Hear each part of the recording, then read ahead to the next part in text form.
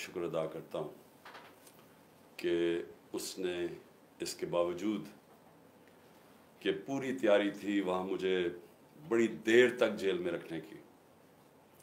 और केसेस तैयार हुए हुए थे कि एक में से मैंने निकलना था तो दूसरा केस लग जाना था। और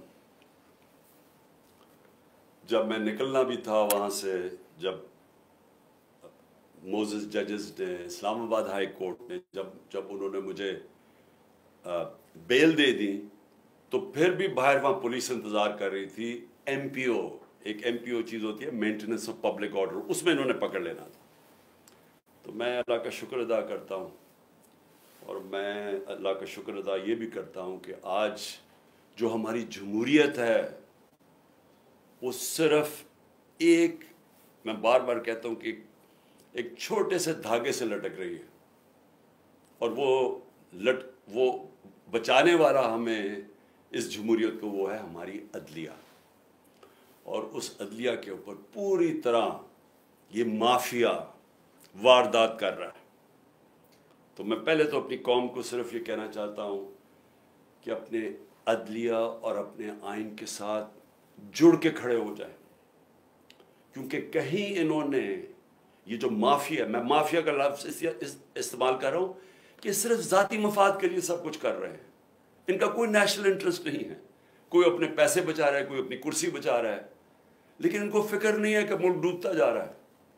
तो ये एक रास्ते में जो अदलिया इनको रोक के रखा हुआ है और जिससे जिसकी वजह से मैं आज यहाँ बैठा हुआ हूँ उसके ऊपर अब पूरी वारदात है। याद रखें, नवाज़ शरीफ ने जब दो तहाई अक्सरियत ले ली तो उसके रास्ते में सिर्फ़ उसने देखा अदलिया है।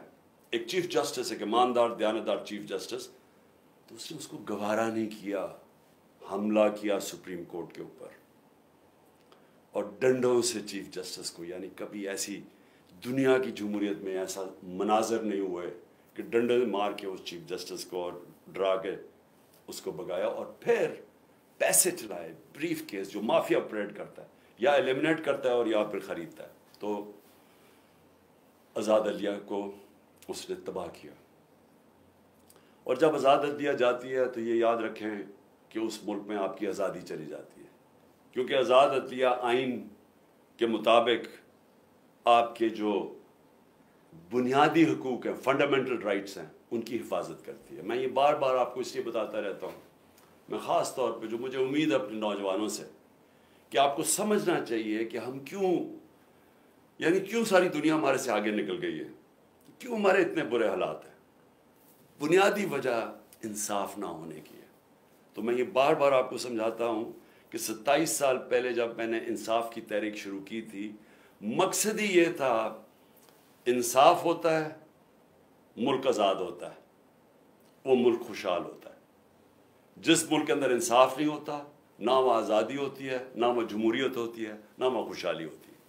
तो इस वक्त सारी कौम को खड़ा होना चाहिए अपनी अदलिया के साथ और मैं उनका ख़ास तौर पर शुक्रगुजार हूँ कि जिस तरह उन्होंने कानून के मुताबिक जो बोगस केसेस मेरे ऊपर बनाए हुए हैं एक के बाद दूसरा 145 केसेस बनाए हुए हैं। अदलिया एक ही जगह हम जाते हैं उम्मीद लेके और वो अल्लाह का शुक्र है कि उन, उन्होंने मुझे जेल में से बचाया। उसके बाद मैं जो पब्लिक निकली, और मैं बात कर रहा हूँ जो पुरमन पब्लिक निकली, क्योंकि मेरी, मेरे जो, मेरे साथ जो मेरे चाहने वाले, मेरे जो जो वोटर्स हैं, जो मेरे मेरे साथ जो मेरे कारकुन हैं, ये हमेशा सत्ताईस साल सत्ताईस साल हमेशा हम पुरमन रहे हैं।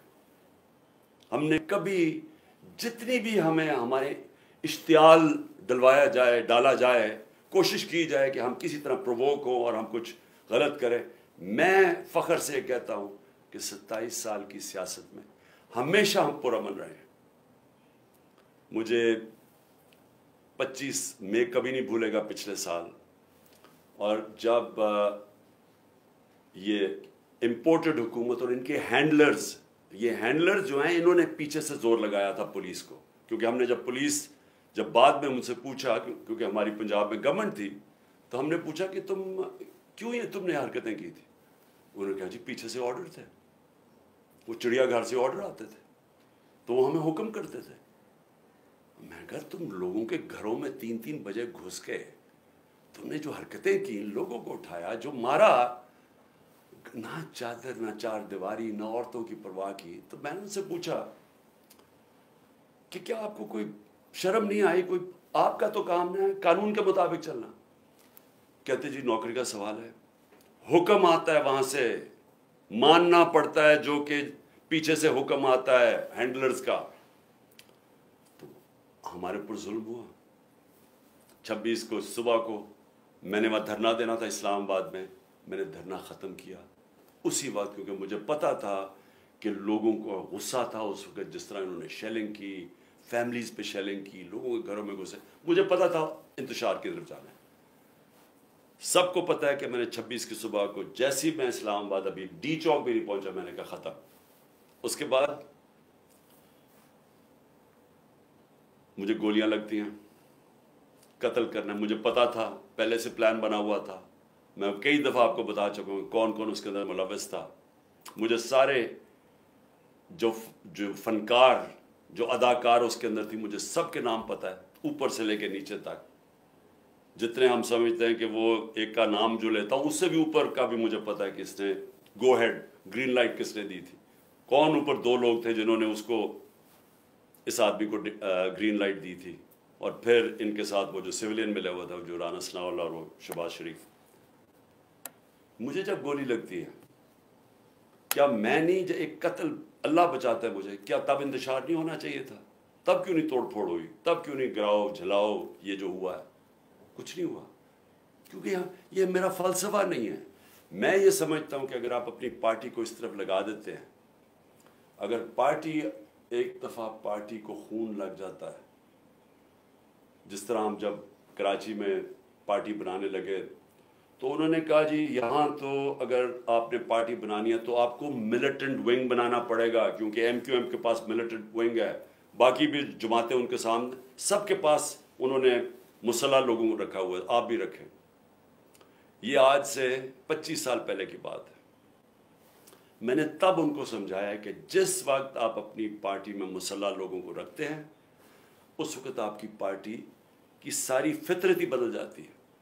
वो आपके भी अगर आपके लिए समझते हैं ना कि हमें वो हिफाजत करेंगे, वो फिर दूसरी तरफ़ अपने काम करने पर शुरू लग जाते हैं। कब्जे, शब्जे, बंदूकें पकड़ के फिरते हैं। मैंने कहा, मैं नहीं करता। हमारी पार्टी बढ़े ना कराची में। क्योंकि जो वो डर होता था कि एम क्यू एम की उस तरह खौफ होता था कि जी हम हिफाजत कैसे करेंगे अपने आप को उनसे। सब मैंने मैंने कभी ये नहीं किया। उसके बाद ये छब्बीस नवंबर आई। कम अज कम चार लोग, लाख लोग थे पिंडी के अंदर। सिर्फ़ हमने जाना था वहाँ से वॉक करके इस्लामाबाद। वहाँ इन्होंने पुलिस जमा की हुई थी। फिर मुझे पता चला कि मैंने कहा, वैसे लोगों को एक तो था कि मुझे गोलियाँ लगी। पहली दफ़ा मैं खैर, उस वक्त में ठीक भी नहीं था। वही कॉल ऑफ़ कर दिया।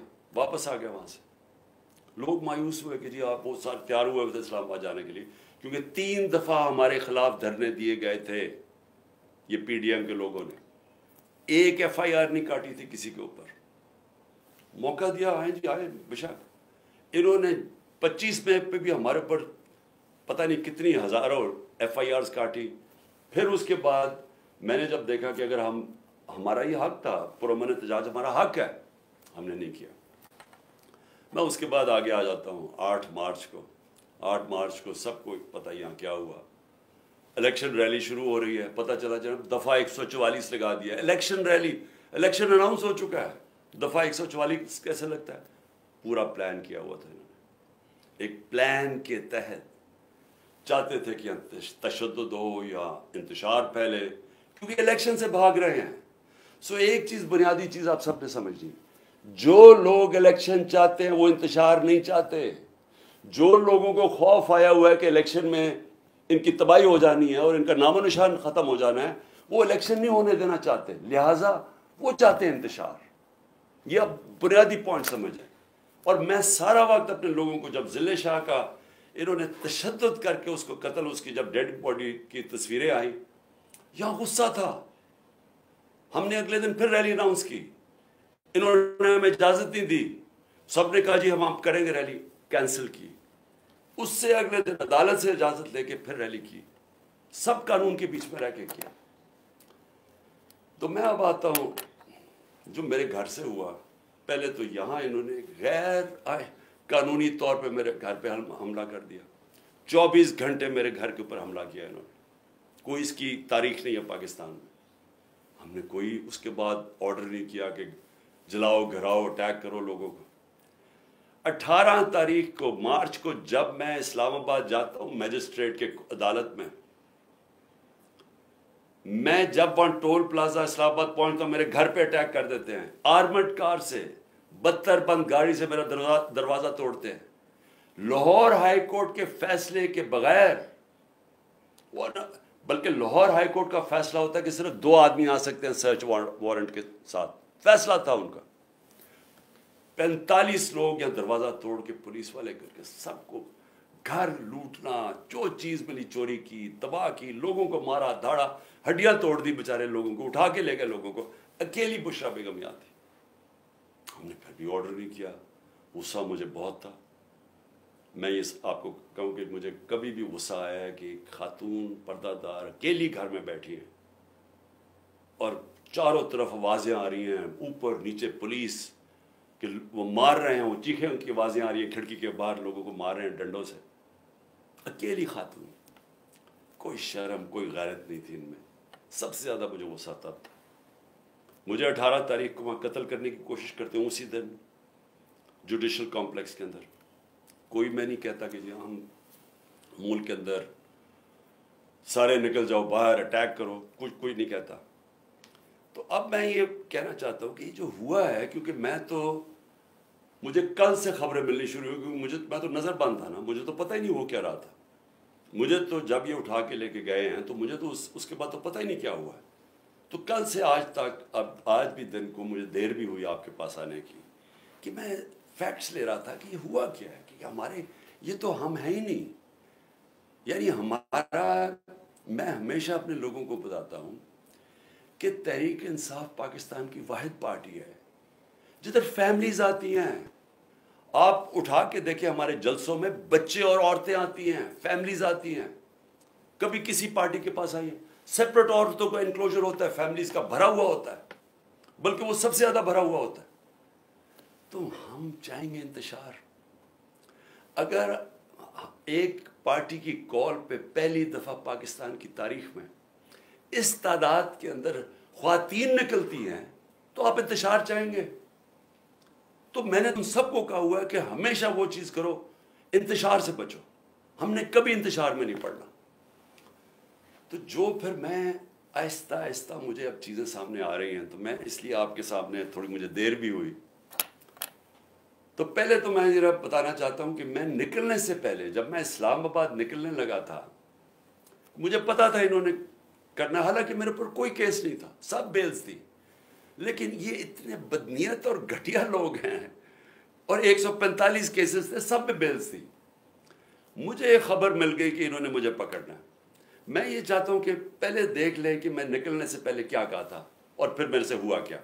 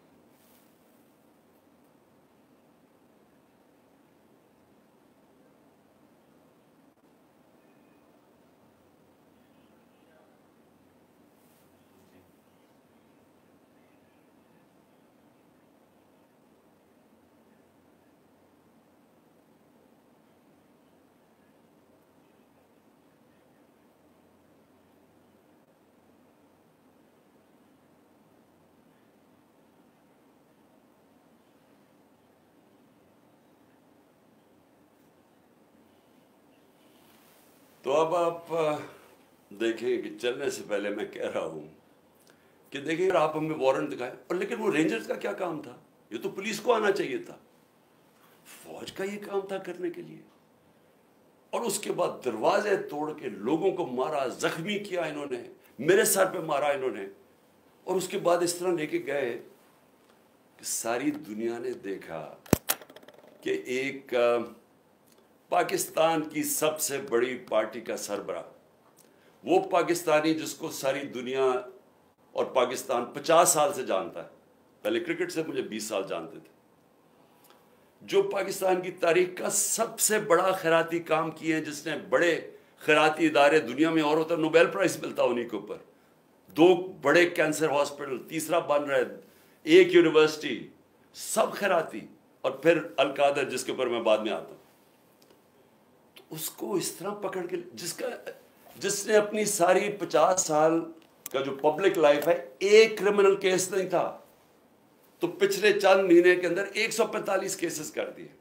दहशतगर्दी के, गद्दारी के, कि किसी को डर्टी हैरी कह दिया और साइकोपैथ गद्दारी, मुल्क से गद्दारी हो गई।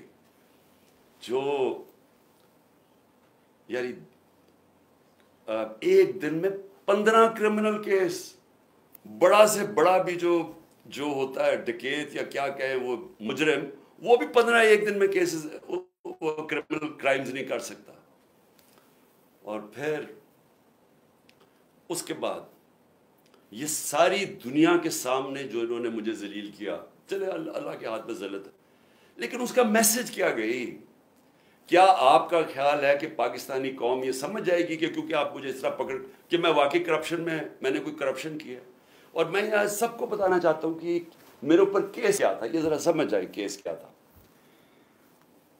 मैंने फैसला किया कि जब मैं प्राइम मिनिस्टर बना के मैंने इस मुल्क के अंदर सीरत नबी को प्रमोट करना है, क्योंकि हमारी अखलाकियात तबाह हो चुकी है, हमारी मोरालिटी गिर चुकी है मोरालिटी गिरी हुई है तो इस तरह के चोर और चक्के सारे मुल्क के ऊपर बैठे हुए हैं।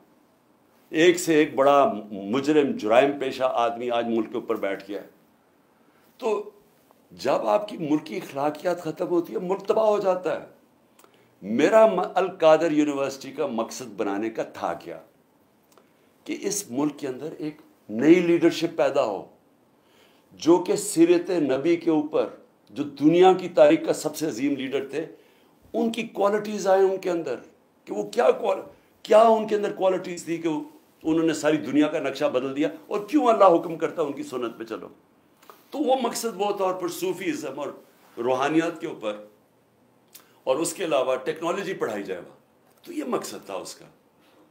तो ये फैसला होता है दिसंबर में, दिसंबर 2018 ये ज़रा सुनते रहे। एक स्पॉन्सर आता है, वो कहता है, मैं बनाने के लिए तैयार हूँ। आपको पता है कि इस वक्त मैं एक कैंसर हॉस्पिटल जिसका खसारा नौ अरब रुपया है हर साल का पचहत्तर फ़ीसद कैंसर के मरीजों को मुफ़्त इलाज देने का। पेशावर में दूसरा कैंसर हॉस्पिटल कराची के अंदर तीसरा कैंसर हॉस्पिटल जो कि सबसे बड़ा है जो तीस अरब रुपए का बन रहा है। नमल यूनिवर्सिटी चल रही है जो कि हज़ार एकड़ के अंदर है। ये तो कोई तीन सौ कुछ कनाल है, वो हज़ार एकड़ के अंदर है। वहाँ भी नब्बे फ़ीसद बच्चे नौजवान मुफ़्त डिग्रीज ले रहे हैं। तो ये कोशिश ये थी कि यहाँ भी हम एक सेंटर सेटअप करें ताकि लीडरशिप निकले पाकिस्तान में, जो एक सादिक और अमीन हो। तो ये मकसद था उसका। ये होता है फैसला नवंबर में। पंद्रह मई को 2019 को मैं इसकी ग्राउंड ब्रेकिंग करता हूँ जाके एज प्राइम मिनिस्टर ये रिकॉर्ड देख लें। केस ये कौन सा है? एनसीए का जो केस ये बात कर रहे हैं, जो कैबिनेट में आता है, वो दिसंबर में आता है, सात महीने के बाद। ये बन रही होती है यूनिवर्सिटी पैसा एलोकेट हो जाता है। उसके सात महीने के बाद बनी, वहाँ ये ये एनसीए का केस आता है। वो सिंपल केस है, वो भी कोई मुश्किल नहीं हमारे पास ये चॉइस रखी गई कि पता नहीं 170 बिलियन डॉलर आ रहा है पाकिस्तान। या, लेकिन उसके लिए आपको एक एग्रीमेंट हुई हुई है मलिक रियाज और एनसीए में। तो लेकिन वो कॉन्फिडेंशियल है। तो अगर आप कॉन्फिडेंशियल मानते हैं तो वो पैसा आ जाता है पाकिस्तान में। अगर आप नहीं मानते तो आपको अदालत जाके वहाँ पड़ेगा लिटिगेशन करनी पड़ेगी। हमें बताया गया कि 100 मिलियन डॉलर हम जाया कर चुके हैं फॉरेन लिटिगेशन में। तो वो जब केस जाएगा, वो कई साल चलेगा। लिहाजा हमने फैसला किया। कि सुप्रीम कोर्ट में वो 170 मिलियन आता है, या वो गवर्नमेंट ऑफ़ पाकिस्तान है तो पाकिस्तान आ रहा है ना। उसके ऊपर उसके ऊपर मेरे ऊपर करप्शन केस है। ये केस कहते हैं, जनाब, आपने अलकादर यूनिवर्सिटी से फ़ायदा उठाया है। अल कादर यूनिवर्सिटी ट्रस्ट है। उसके सारे ऑडिटेड अकाउंट्स हैं। वो सारे आपको पता है। बताए किधर से फ़ायदा उठाए वो कोई नहीं बता रहा। ये नहीं नैब बता रही फ़ायदा। वो कहते जी, आपको कोई फ़ायदा हो। क्योंकि आपको अल कादर बनाना था, लिहाजा आपने उसको मलिक रियाज को जब सारी कैबिनेट का फैसला था। नहीं, आपने इसलिए किया है क्योंकि आपने वो अलकादर यूनिवर्सिटी बनानी थी, जिसमें मुझे कोई ज़ाती फ़ायदा नहीं है। जिस तरह ना मुझे नमल यूनिवर्सिटी से है, ना मुझे शौकत खानम से है, क्योंकि वो ट्रस्ट है। वो मेरी ज़ाती मलकी तो नहीं, उसके ऊपर। ये सारा ड्रामा हुआ कि जी, इमरान खान के ऊपर करप्शन केस हुआ, इसके ऊपर उन्होंने मुझे पकड़ा और मुझे एक दहशत गर्द की तरह पकड़ के लेके जा रहे थे। और दूसरा मेरी बीवी, अब मैं, मुझे जो इससे ज़्यादा, अपने से ज़्यादा तकलीफ़ है कि मेरी बीवी का नाम भी ट्रस्टी में है। क्यों है? ट्रस्टी क्या होता क्या? पहले क्योंकि कौम को समझना चाहिए, क्योंकि इतना ज़्यादा प्रोपागेंडा किया जा रहा है। मैंने कभी इस तरह का कंट्रोल टेलीविज़न नहीं देखा जो आजकल टोटल कंट्रोल करके पीछे से उनको हुक्म आता है, नामालूम अफराद का धमकियाँ आती हैं ऑर्डर्स दिए जाते हैं कि इमरान खान को नहीं दिखाना, फलानी चल, इसके लिए कोई अच्छी चीज़ नहीं कहनी, इसके खिलाफ प्रोपोगेंडा करना। तो इतना झूठ बोला जा रहा है, लोगों को बताएँ कि ट्रस्ट होता क्या है। ट्रस्ट जो ट्रस्टीज होते हैं, ना उनको कोई तनख्वाह मिलती है। उनको कोई तनख्वाह नहीं मिलती। सिर्फ़ ट्रस्टी वो होता है, जिसको, जो दिल से कोई खराती काम करना चाहता है। अब बुशरा बेगम बल्कि मुझे सीरत नबी को जो समझाऊं मैं मैं तो बुशरा बेगम की वजह से समझता हूँ। क्योंकि उनकी उनकी बहुत ज़्यादा इसके ऊपर उनकी नॉलेज है। तो उनको मैंने ट्रस्टी रख दिया। उसके ऊपर भी वारंट निकाल दिया रेस्ट का। मेरे घर पे हमला कर दिया फिर से आके। यहाँ टेयर गैसिंग शुरू कर दी, उनको कहा पकड़ के जेल में डालना मैंने ऐसी कभी बेगैरती इस मुल्क में नहीं देखी। वो आदमी ये ये नैब का चेयरमैन, ये जो जनरल है, अगर इसने ये ऑर्डर किया और किया इसी नहीं होगा?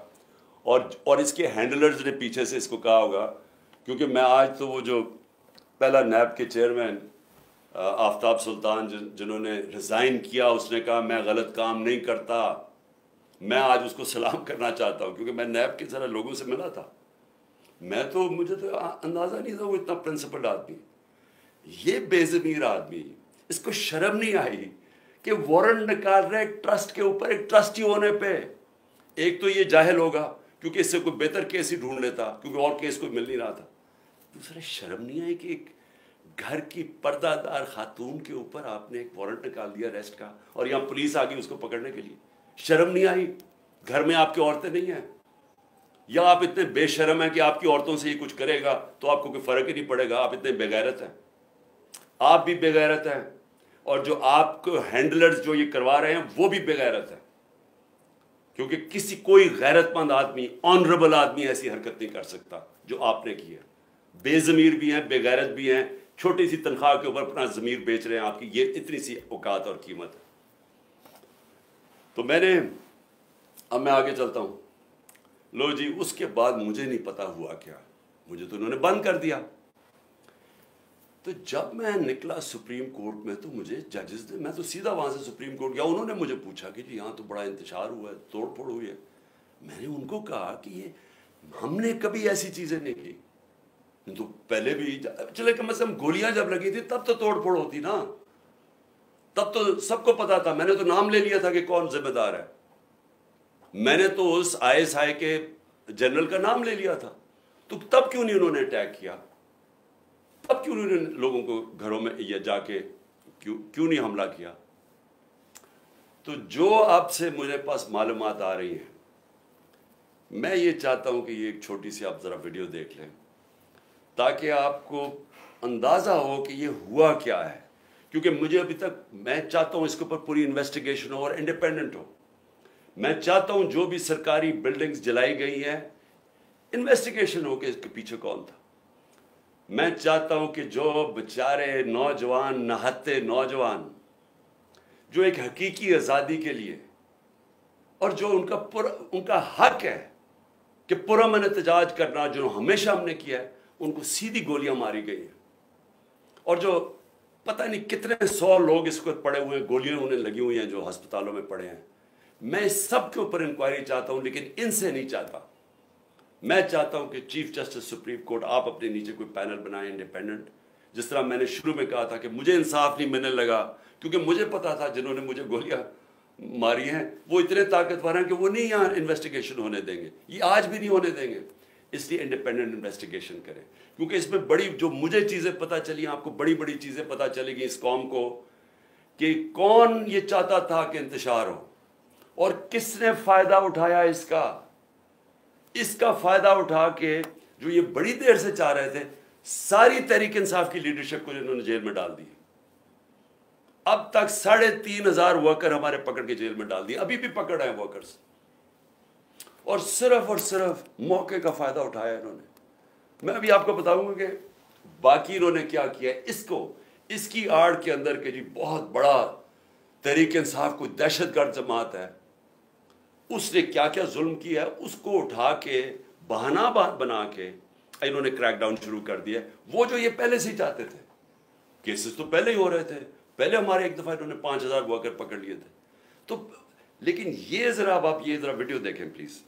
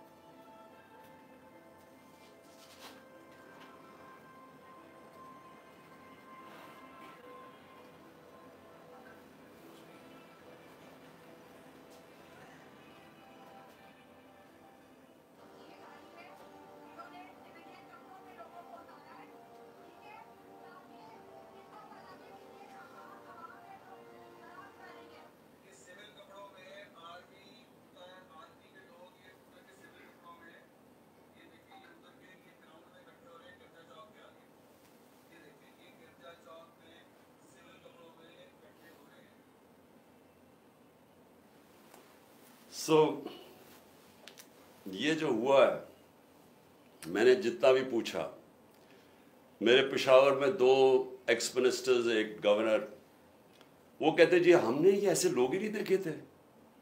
अब जब उन्होंने तोड़ फोड़ शुरू की तो उन्होंने उनको रोकने की कोशिश की। तो शाह फरमान उससे भी उन्होंने लड़ाई की। दूसरा हमारा शौकत यूसुफ से जब उसने रोकने की कोशिश की जो मिनिस्टर था उसके उन्होंने कपड़े फाड़ दिए। ये कौन लोग थे? हर जगह से खबरें आई, अभी यहाँ से जब हमारी लोग जमा हुए हुए थे, इधर लिबर्टी चौक में, उन्होंने कहा कि हम अजीब अजीब लोग देख रहे थे? हाँ एक तो जनरल पब्लिक है ना, वो तो हमारी आती है। लेकिन ये अजीब किस्म के लोग थे, जब उन्होंने देखा कि वो सारों को इश्तियाल दे रहे थे कि चलो वो उधर चलें तो उधर फलाने कैंटोनमेंट में चलें, यानी वो लोगों को इश्तियाल दे रहे थे। और ये जो आपने देखा ट्रक से उतरते हुए, नामालूम, ये सफ़ेद कपड़ों में, यही लोग मैंने जब मैं जुडिशल कॉम्प्लेक्स में मेरा कत्ल करने का प्लान था, वहाँ इसी तरह के लोग थे। उन्होंने दूसरे कपड़े पहने हुए थे। एक और प्लान इन्होंने किया था मुझे यहाँ कत्ल करने का।